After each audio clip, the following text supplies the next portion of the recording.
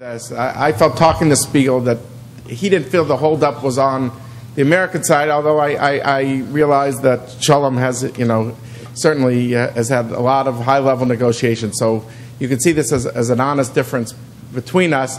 But I think there's, there has been an honest effort to try to demarcate these settlements in the past. And I, I do think that effort was undertaken by Israel and by Baruch Spiegel. And there was, he put years into this, and I think that's, that's important for people to know there was a good faith effort to really get to the bottom of this, so to speak. Can everyone hear at the ba- by Can the you- doors? Can you hear David? Can you hear me? All right, I try to talk loudly. If, if any. look, I'm not going to give you a lot of uh, maps here. Um, look, this is kind of the situation today. Uh, some might call it the soup. Uh, it's, I would say there's no way. You see this map, and you say there's no way. The blue areas would be settlements. These are not rivers or anything like that. These are settlements, and they're all over the map. The, uh, the, the brown areas, the darker brown areas, tend to be the Palestinian population centers, the cities. You know, you have Jenin in the north, you have Nablus, you have Ramallah, you have Jerusalem, you have Bethlehem, you have Hebron. So if you look at this map, you say, forget it, we're all wasting our time. This is so in, in you know, they're all, it's like spaghetti. They will never be able to extricate this, and we are doomed to confrontation. Um, that's one way to look at it. Uh, now, I don't think so. You could say I'm, I'm not. I'm an optimist by heart, and I think that there's a problem-solving ways to address this. This would be the numbers are using uh, two point uh, over two million Palestinians and uh, 297,000. Again, these do not include. I want to reiterate what I said at the outstart in case people are going to ask me. This does not include Jerusalem, which Israel does not call a settlement. There would be another probably 280,000. There's a map if you want uh, that we can look at because I figure there might be questions about Jerusalem uh, there, and there's more, uh, another uh, couple hundred thousand Palestinians there. Some people could question some of the Palestinian statistics, and I'm, I want to preempt that discussion by saying I don't think it fundamentally changes the contours of this, but we could discuss uh, and go down in the weeds further. Okay, so this is kind of the status quo. Uh, you know, I should say, just to reorient, you know, there's Tel Aviv, Jerusalem, you know, Haifa, you know, etc. Okay, here I would call this a 70% uh, option, which would say there's a, there's a way out that would enable Israel to keep 70% of the settlers. And um, the way to do that would be to say, as Shalom said, and you heard it right here, you know, basically, the, you know, there's the area, oops, sorry about that, uh, 70%. You basically have, um, you know, you have um Jerusalem right there. You have, Ar- yeah, we'll just use this thing. You have Jerusalem, and uh, you mentioned a place called Ariel that has around uh, 16,000 people right there. You have Ma'ale Adumim. Some of you may have family or visited there, right to the east of Jerusalem. That's right over here. Uh, you might have heard a place called Gush Etzion. What's new, if someone wants to tell me, you know, come back from policy conference, say, give me a trend that I don't know, that I don't read in the papers on the settlements. What's fascinating here is the growth of the ultra Orthodox settlements. And it used to be, when you said, give me the name of the biggest settlement, you would say Ma'ale Adumim. Now Ma'ale Adumim is in third place. What's in first place is an ultra Orthodox place called Modi'in Illit, which is right here. Sometimes it's called Kiryat Sefer. And another time, and there's another place called Beitar Illit. Some people think Beitar, they think more revisionist Likud, but it's, it's an ultra Orthodox area. And when I was saying that, you know, the 77 push was, you know, build, you could build everywhere, but Sharon very much tried to cultivate two constituencies the professional Israelis in the suburban areas uh, for the, to go to the settlement blocks because he thought that would, you know, these are not the people who are going to move to Nablus and places like that. And the ultra Orthodox, he tried to enlist them in the effort, but he kind of made clear you're right, not adjacent to the green line. So, you know, no, you're not talking about living over there. And those two constituencies, more than anything else, really gave this thing a boost. So my point here is is there a way out that would say that these settlers, and, and you know, to be fair to them, they've been living in legal limbo for 40 years. Now, there's many of them more than there were 40 years ago. But they've been living in a legal limbo. No Israeli prime minister has succeeded in annexing one of them. Not one. Not a Likud, not, a, not Begin, not Shamir, not Sharon, not Netanyahu. They remain in legal limbo. So the question is is there a way out that would say, you're not called settlers anymore? You're called, you know, that you live as part of sovereign Israel, not in, in, in, in territory whose legal status is disputed. No one's going to complain anymore when you build. And this is where 70% of them live, right in these areas. So it takes up much less space than um, people would think, uh, as you see the numbers down here. And, uh, and yet, in, yeah, in terms of, of, uh, of actual percentages, we're talking about something that is, you know, that is, that is tiny uh, in terms of numbers. Now, you know, if you're a Palestinian, you'd say anything is too much.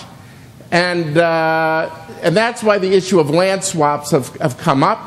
Here are some area land that is irrigated here, and it would all net out if, if they wanted to do that land swaps.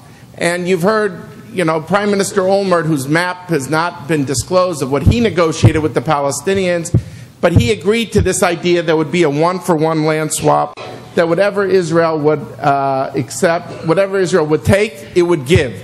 So it's a one for one basis. And even the Palestinians who you talk to say to you, you know, they'll even quote you, even Arafat would say, of course, it, land swaps are fine.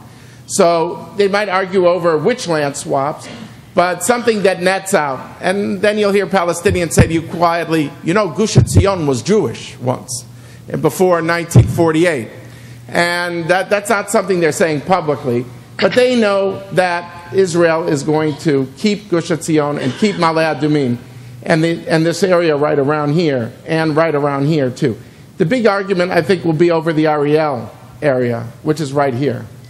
Now, here's another one which says, what if you take the same idea and you take it farther? Instead of trying to get 70% of the settlers, try to get, you know, 80% of the settlers. And then you're talking about 240,000 people. That's again outside of Jerusalem. 240,000 who live in, uh, in, a, in, less than 4.5% of the land. When you talk about the land, it's, it's West Bank and, and Gaza and, uh, and, all the area put together. But um, that would give more area. And there's an area north of, uh, of Ariel called Kedumim, that's right up here. And then the settler leadership lives really largely, not exclusively, because they live all over, but they live in two places. One is called Beit El, you may have heard of it, and one is called Ofra. And if you extend it from 70 to 80 percent, you're still under 4.5% of the land, but now your number is up to 240,000 people. So, is there a way out that could tell 80% of the settlers that they've been kind of upgraded, that their legal status is no longer in dispute. And uh, that would be, um, it could have some incentive for them because instead of being in the legal limbo where they've been like bargaining chips for the last 40 years. Now, the question is obviously asked under these scenarios what happens to the, to the 20%? Where do they go? That's 60,000 people. Now, many of them are children. I, we did some numbers on who voted in the last election, and of that remaining 60,000, and, and I'll uh, conclude on this point, um, only 23,000 voted. Which, and we think the settlers are very politically astute, they're very active, they're mobilized, they're activists by nature, and we just think they have a lot of children. So, of the 60,000, a lot of them are just kids. And whether they're 23,000 adults, you know, I, I cannot say. But the question is what happens to them, and I, I want to preempt the question, and then I'll sit down. Because uh, someone is going to ask me, well, why don't they just stay and live in Palestine? And isn't that the best kind of litmus test of Palestinians' intentions that they should live in Palestine and they shouldn't leave at all? And I think it's a fair question. And that is for the negotiators. I'm not here to say what they're going to do. Um, you know, you can present both sides of it and say, well, they should just live there and live in their homes. The Palestinians will say, yeah, let them stay, but they took the land from their view illegally, and now we'll give them different land under the new Palestinian state. Uh, and there'll be uh, other settler leaders have told me, look, we've come to live in the state of Israel. Okay, we, we, we, got, we came to live in the state of Israel, and we're not living in the state of Palestine. So we wouldn't want to live there. And there's, we can get into that conversation later. But uh, anyway, these are just some of the points. I have a map with Ramat Shlomo, and uh, if you in the Q and A. But why don't I stop here now? Thank you very much.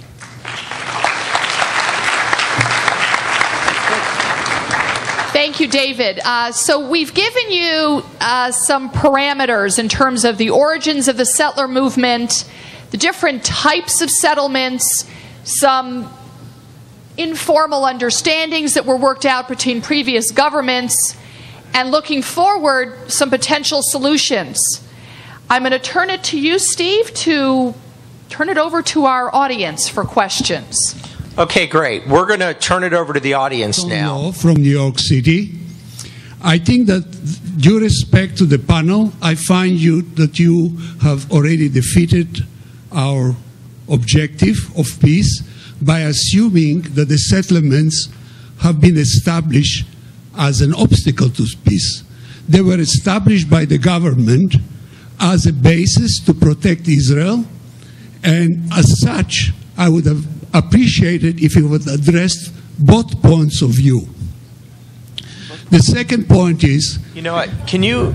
I think everybody here would like to hear questions and Yeah, not comments. I'm coming to the question. Leave it to a question, Yes. please. My question to you is you never touched on the point of the Jordan Valley.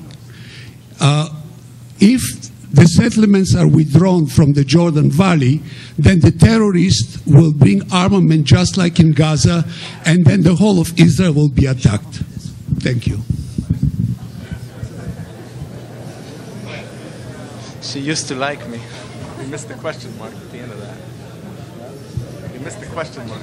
The question is how are you going to handle the western, the Jordan Valley, from where all the terrorists will bring armaments, just like when we withdrew from Gaza, that the armaments came from the Sinai, and now no settlement or no town in Israel near Gaza can live in peace. The same thing will happen to Jerusalem and Tel Aviv.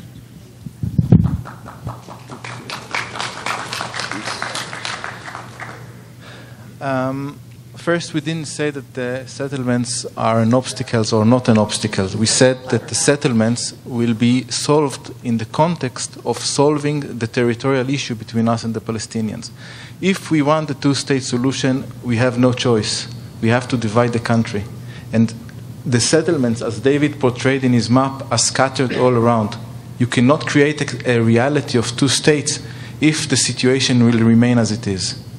Now, regarding the Jordan Valley, we are talking about any final status agreement that will be reached between us and the Palestinians. We'll talk about returning territory to the Palestinians in the 90s. This was in the parameters of Clinton, this was in the offer that Prime Minister Olmert gave uh, the Palestinians. What does it mean the, uh, uh, in the 90s? It means that 90% and up 90% and up, and then a swap of land, 92% and a swap of 8% land, 93, 94, 96, doesn't matter. If you're talking about 90s and up, it means that the Jordan Valley is not part of it. You can reach uh, security arrangements in the Jordan Valley, but you cannot stay in the Jordan Valley as part of Israel if you're talking about a solution that will talk about 90% and up from, from the territories. Unlike in Gaza, we have, and I served in Jordan for five years, we have a government in Jordan that are supervising the border. Since the peace treaty between Israel and Jordan, there was not a single terrorist attack that, uh, that uh, took place from, uh, from Jordan. And I don't see, um, um, you have to take everything in, into considerations, but Jordan is not the case as it is in uh, Gaza or in, uh, in other places, and uh, at some point you have to take the risk. Now, if the settlements will be there or will be in the Jordan Valley, it doesn't mean that rockets cannot be poured on Tel Aviv or on Kfar Saba or on other cities in, in, uh, in uh, Israel.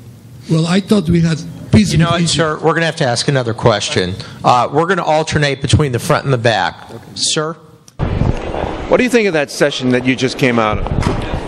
I feel very dissatisfied from the session because for three reasons. One, it didn't present both sides of the point of view. Two, it assumes that being a settler is being guilty. And three, which is the most important, did not cover the issue why the settlements were established, which they were for the security of Israel. And if they are removed, that will affect the security of Israel, just like Gaza did. What do you mean? Well, when, when we withdrew from Gaza, we were promised that our total withdrawal from Gaza will bring peace and security for the state of Israel.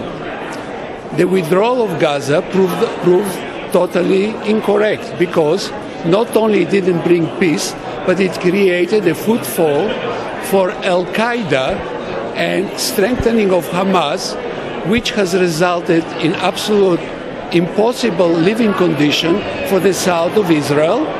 And with the acquisition of additional and new rockets, we are being threatening Beersheba, Ash- Ashdod, Ashkelon, and who knows, even Tel Aviv. And so, what was it about that their proposal that, that you find untenable? My biggest problem with the proposal that they didn't evaluate the benefits of having Jewish citizens living in Judea and Samaria. And they totally disregarded the Jordan Valley, which is the buffer zone preventing arms smuggling which to the terrorists. If the arms are smuggled to the terrorists, we are going to have the same thing which happened in Gaza. They will bring rockets into Judea and Samaria and therefore bomb Jerusalem, Lydda airport, Tel Aviv for sure, even with small 10, 10 mile rockets. And if they get more sophisticated, there'll be no place in Israel where you can exist. And therefore, I think the protection of Israel is based on having a strong and secure Jordan Valley presence of Israeli citizens to protect Israel. So, how is it then that that that, that the panelist who was there from Israel was was making these recommendations? Doesn't he have this to fear as well? I mean, more so than than those uh, living in Galus. Well, he, the panelist who lives in Israel and was part of the negotiation, had vested interest in the negotiation. And when we came to the point of the security of Israel, he admitted, and his, his admission to my statement was, we have to have faith. Well, I'm sorry, with faith, we had faith in Gaza, we had faith in Lebanon, we had faith in giving uh, so many cities to the Arabs, and the results have been one thing war and war and war. So, how can we have faith when actually Einstein said, You are in. What is the definition of an idiot? A definition of an idiot is a person who does the same mistakes and expects different results. So, my opinion is that anybody who put, puts Israel in such a dangerous situation should read what Einstein said. In other words, you think that there are misguided Israelis. I wouldn't call them misguided Israelis. I will call them naive Israelis who don't study history and who don't study Einstein. Or Begin. Well, I don't know. Begin withdrew from, from uh, Sinai. I don't know if that was a wise move either. But in the meantime, that was another example with Egypt. But uh, unfortunately, our politicians nowadays don't seem to understand that words mean nothing. Do you think that there was a, a, a prejudice in assembling, assembling the panel without someone defending your point of view? It's not really my point of view. It's basically, I believe, in balanced point of view. I'm not an extremist, and I'm not a dove or a or whatever hawk. I'm I feel I like to have balanced point of view. And it was a glaring example of an imbalanced point of view where we were forced into debating a very defeatist attitude. We have to surrender and getting nothing back in return. I find that unacceptable. Now, if they could prove the point that we, this will bring peace, I would be very happy and the first one to sign on to peace.